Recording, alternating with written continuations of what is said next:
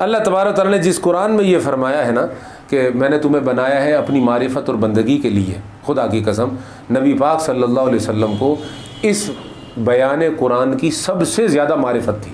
हुजूर अल्लाह तबारक ताला के सबसे कामिल बंदे और सबसे ज़्यादा उसको पहचानने वाले। अब हुजूर पाक सल्लल्लाहु अलैहि वसल्लम जो दीन लेकर आए हैं, उस दीन में सबसे पहले जो शख्स दाखिल हुआ है, उसका नाम सैदना अबू बकर सिद्दीक सबसे पहले हुजूर पाक सल्लल्लाहु अलैहि वसल्लम के दीन का कलमा जिस हस्ती ने पढ़ा है, वो सैदना अबू बकर सिद्दीक हैं। जब आप दीन में आगे बढ़ेंगे और तारीख़ का मताल करेंगे तो मैं आपको ये बात पहले बता दूँ कि बहुत सारे लोग हैं जो कन्फ्यूजन्स पैदा करते हैं। ख़ास तौर पर सहाब कराम रिदवान ताली मजमैन के हवाले से अकीदा क्या रखा जाए और उनमें बेहतर कौन था? उनमें अफजल कौन था? उनमें आला कौन था? उनमें किसके फ़जाइल ज़्यादा थे? तो इस तरह की चीज़ें कुछ लोग पैदा करने की कोशिश करते हैं, बल्कि बंदे में फितरी तौर पे भी पैदा हो जाती हैं। हम जिस सिलसिला आलिया चिश्तिया निज़ामिया से ताल्लुक़ रखते हैं, तमाम मशाए हजरात ने बिला खौफ तरदीद और बिला किसी तावील के क्लियर कट लिखा है कि हम, हमारे अकायद वही हैं जो 1400 साल से इस उम्मत के अंदर चले आ रहे हैं, तवातुर के साथ। और हम किसी भी नए अकीदे को गढ़ते नहीं हैं। कोई नई राह हम निकालते नहीं हैं। हम तक जो अकीदा पहुँचा है वो ये है कि हुजूर पाक सल्लल्लाहु अलैहि वसल्लम की ज़ात गिरामी के बाद सहाब किराम में सबसे अफजल सैदना अबू बकर सिद्दीक है। सबसे अफजल, मिन हईसुल कुल, हज़रत अबू बकर सिद्दीक रज़ी अल्लाह वो तमाम सहाब किराम में अफजल हैं। फजीलत भी उनको हासिल है और अफजलियत भी उनको हासिल है। उनके बाद जो नंबर है वो हज़रत सैदना उमर फ़ारूक रज़ी अल्लाह तहो का है। मरतबे के अंदर दूसरे दोयम दर्जे में हज़रत उमर फ़ारूक आते हैं।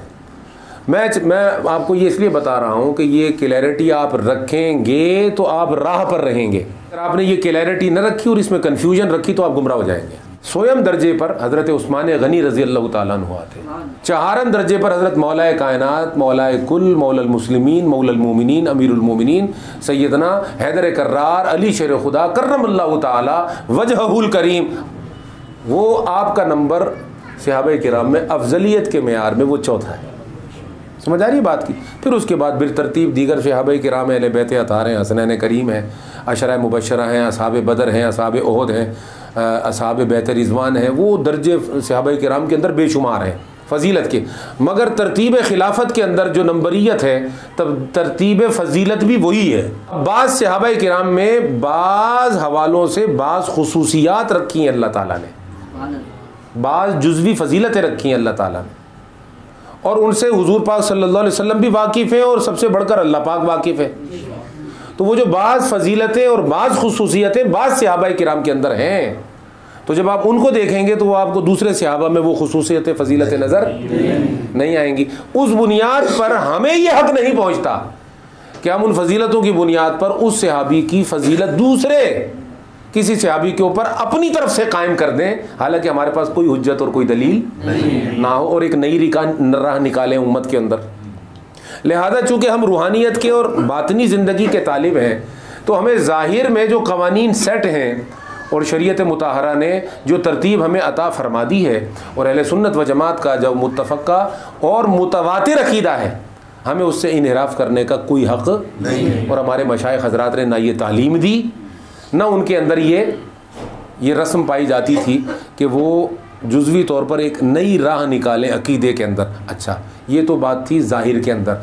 अब बातिन के अंदर अल्लाह तबारक व ताली आपको किस सहाबी का कौन सा इरफान अता करता है और क्या पहचान अता करता है तो वो तो मामला बातिन का है ना आपके और आपके रब के हवाले है। तो वो बातिन के अंदर तो आप जिस ज़ात का जो जो इरफान भी आप पैदा कर लें अपने अंदर।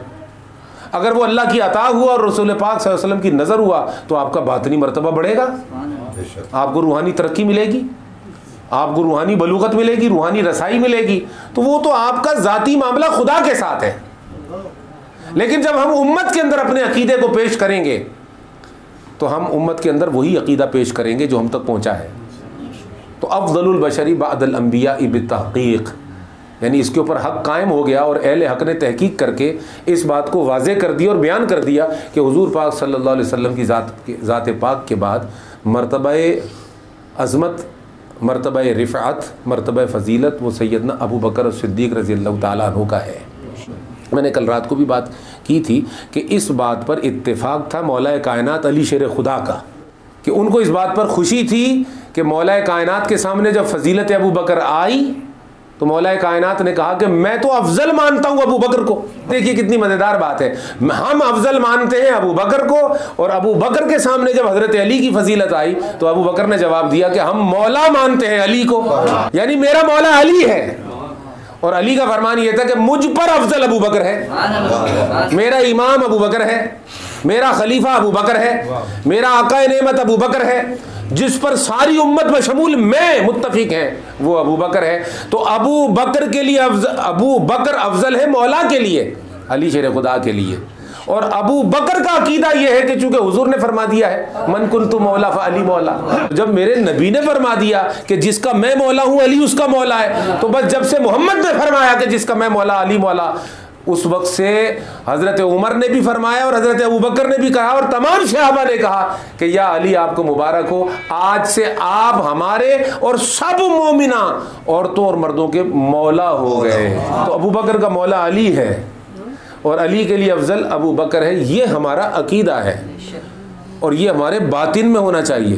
अगर आप सिलसिले में और दीन में आगे बढ़ना चाहते हैं तो आपको इसके हवाले से बिल्कुल कंफ्यूज नहीं होना है। बिल्कुल इसके ऊपर पक्का होना है।